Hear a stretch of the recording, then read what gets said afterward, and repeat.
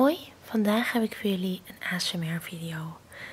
Ik heb super vaak de vraag gekregen of ik weer eens een ASMR video wil maken. Nou, bij deze. Vandaag wil ik twee video's combineren. Ehm, ik wil namelijk mijn favoriete everyday kwasten laten zien in combinatie met ASMR.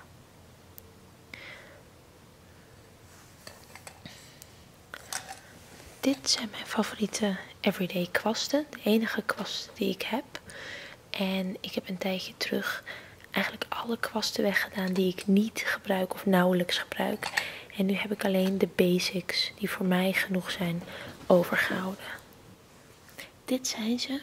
En ze zijn verdeeld ehm, per categorie eigenlijk. Ik heb hier alle gezichtskwasten. Poeder, blush, dat soort dingen. En hier heb ik alle oogkwasten. En ze zitten in een glazen, glazen houder. Dit is eigenlijk een kaarshouder. Ik zal even deze eruit halen.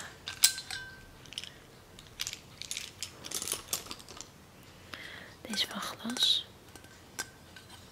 Met dit op de bovenkant. Dat kan je er zo afhalen.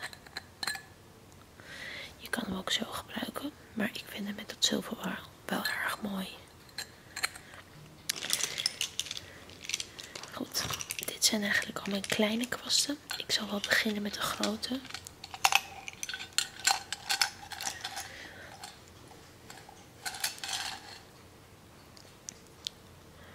Dit zijn mijn grote kwasten.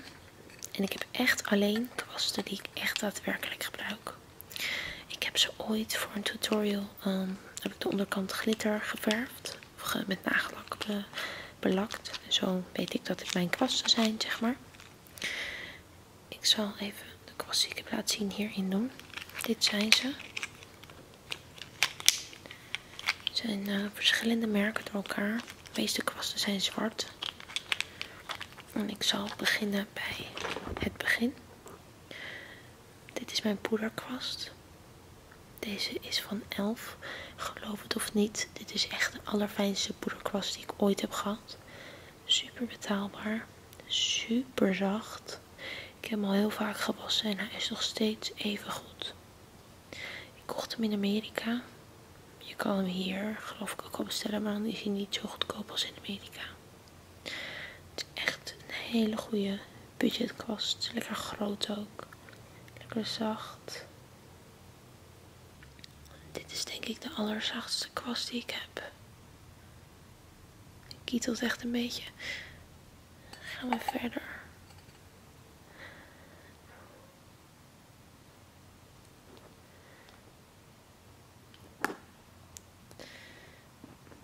Dan heb ik twee kwasten om foundation mee aan te brengen. Um, als eerst de traditionele foundation kwast. Deze is van Dior. Ik heb veel foundation kwasten gehad, maar dit is echt de allerfijnste. Hij is niet keihard, ook niet te zacht. Dat heb ik heel snel met zulke kwasten dat ze te zacht zijn. Deze is qua hardheid precies goed. Maar hij brengt het ook niet streperig aan, maar gewoon heel mooi en glad.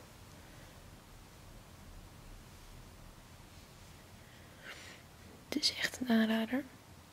En dan heb ik nog een kwast, namelijk deze. Die is van Urban Decay.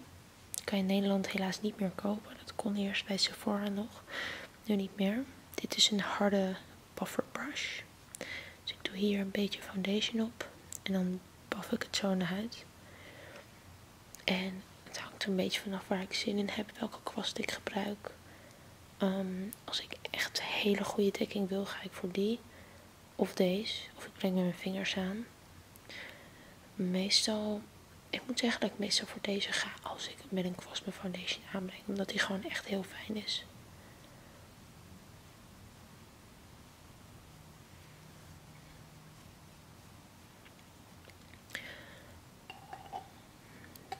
Zo. Dan gaan we naar de Shape Brush. Dat is deze.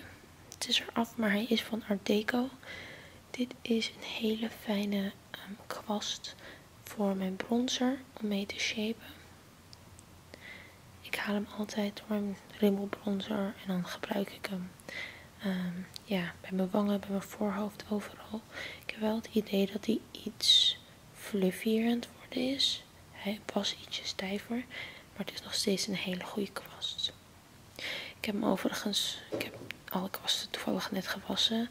Dus vandaar dat je niet echt iets erop ziet zitten. Maar normaal is deze wat bruiner. Het is heel zacht. Dan mijn blush kwast. En dit is echt mijn favoriet. Um, het is er alweer af. Maar ik geloof dat van Zuva is. Ik weet niet welke nummer hoe die heet. Maar dit is echt de beste, zachtste blushkwast ooit. Ik hou sowieso van schuin afgesneden kwasten. Die en die zijn allebei schuin. Echt heerlijk. Ik ben er echt gek op.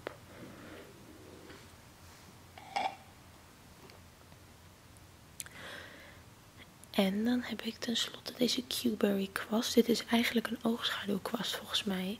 Maar ik gebruik hem als concealer kwast. Als een soort van fluffy blending concealer brush. Dus als ik een buisje heb, dan doe ik wat concealer op en doe ik dit. En dan vervaagt hij helemaal perfect. Ik vind hem iets te groot voor een oogschaduw blending brush. En hij is verder te klein om echt als blushkwast of zo te gebruiken. Maar voor concealer is die echt perfect.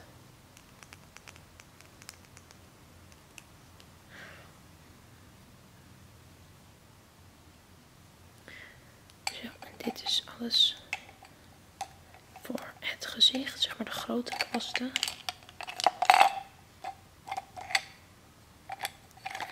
En dan gaan we nu verder met de oogschaduwkwasten, de kleintjes.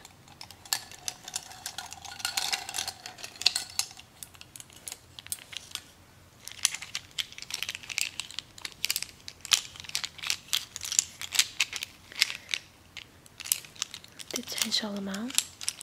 Ik gebruik ze echt niet allemaal elke dag hoor, maar het zijn wel echt uh, ja, mijn favoriete kwasten.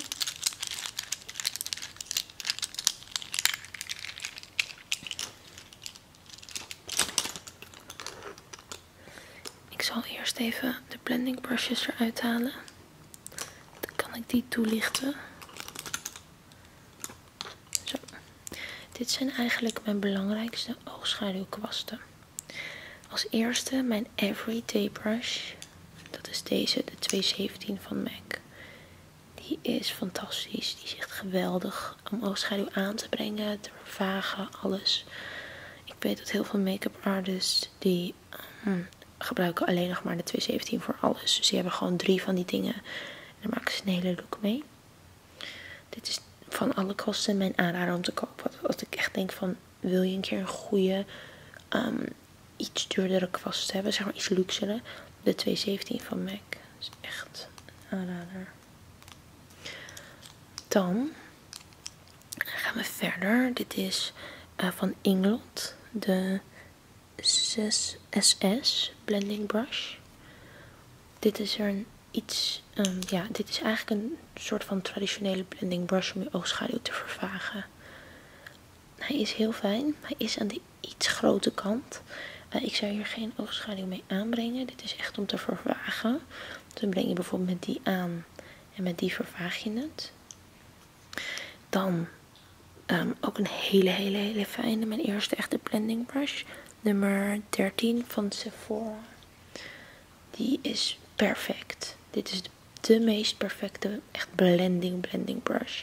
Helaas niet meer in Nederland te koop. Maar maakt niet uit. Ik heb hem denk ik al een jaar of zes, zoiets. En hij is nog steeds perfect. En dan heb ik nog een hele fluffy van Zuva, de 228. Die is extreem zacht. Die is echt heel fluffy. Van alle vier de meest fluffy. Die is heel fluffy, maar die is nog, nog veel. Kijk, hij wordt heel groot. Ik zal ze wel even naast elkaar vergelijken op mijn hand. Dus kijk zo. Dan zie je hoe hard ze eigenlijk zijn en hoe zacht.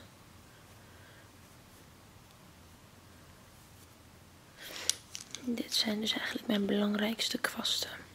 En waarom heb ik nou meerdere blending brushes? Ook omdat soms blend je iets met zwart, zeg maar. En dan wil je ook weer een schone hebben. En ik vind het wel fijn om ze soort van af te kunnen wisselen. Dan ga ik verder. Even kijken, deze kwast. Daar krijg ik heel veel vragen over bij tutorials. Dit is een kwast van Cube Harry. En het is mijn favoriete kwast om highlighter onder de wenkbrauw aan te brengen. Hij is dik, vet, breed. En echt perfect voor onder de wenkbrauw. Je kan zo makkelijk dit aanbrengen. Of als je gewoon van je uh, ooglid tot aan je wenkbrauw een kleur wil aanbrengen, dan is dit werkt lekker makkelijk en snel. Het is echt, uh, echt een hele fijne kwast. Die heb ik ook al een aantal jaar. Lekker cheap.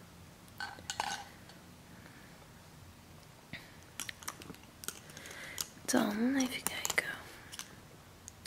Dan heb ik drie kwasten om oogschaduw aan te brengen. Dat zijn wat kleinere kwastjes. Um, om te beginnen deze van MAC. Ik weet het nummer niet, het staat er niet meer op. Maar dit is echt een hele basic kwast om gewoon oogschaduw aan te brengen. Dus um, weet ik veel, bruin of zo breng je zo aan. En dan neem je een blending brush om erboven te blenden. Of de 217 of wat dan ook.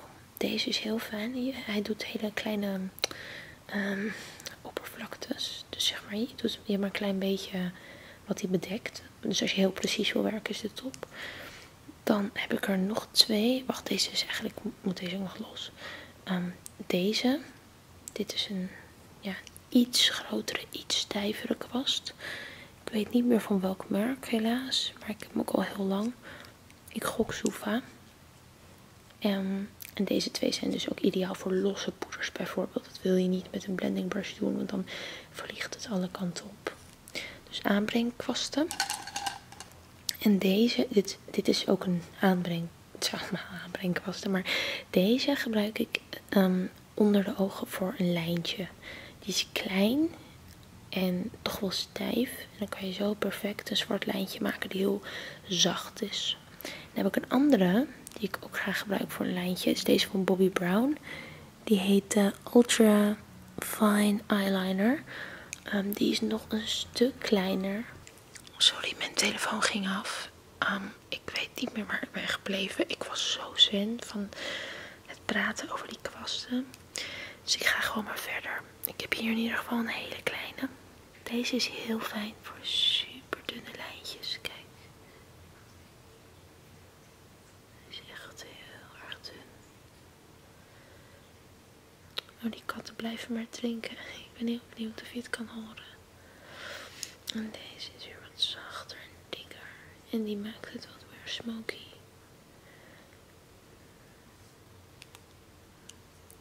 Dit zijn wat mij betreft echt must-haves op het gebied van kwasten. En dan heb ik er hier nog drie. En dan heb ik hier nog een pencil brush.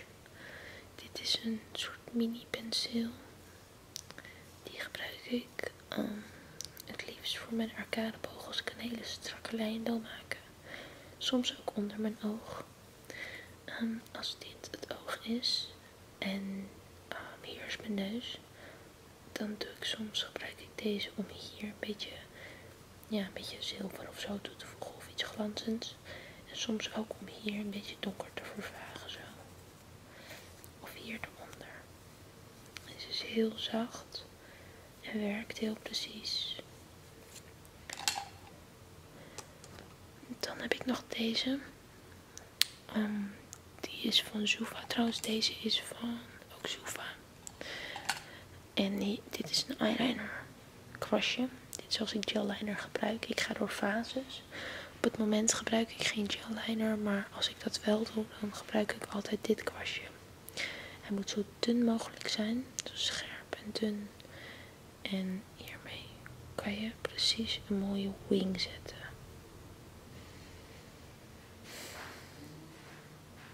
En tenslotte deze kwast van Yves Rocher. Het is volgens mij echt een oogschaduwkwast. Maar ik vind hem zo stijf en goed dat ik hem het liefst voor um, lipstick gebruik. Dus een lippenseel. En kan heel precies aanbrengen. Vooral randjes van je lippen en zo. Het is heel mooi.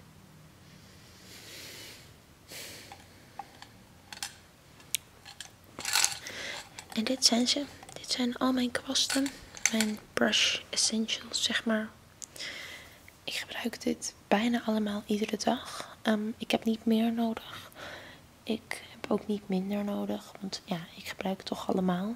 Ehm, als er wel eens een kwast afvalt, dan uh, geef ik die weg. Of als die echt slecht is, dan gooi ik hem weg. De enige die misschien vervangen moet worden, is deze. Want ik merk dat hij gewoon iets slapper wordt. Voorlopig nog niet hoor. En um, ik vervang af en toe mijn poederkwast. Maar ik heb deze nog een paar maanden en hij ziet er nog heel goed uit.